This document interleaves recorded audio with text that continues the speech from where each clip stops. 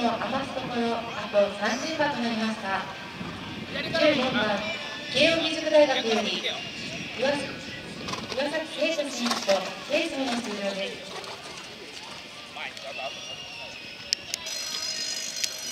お前出る前に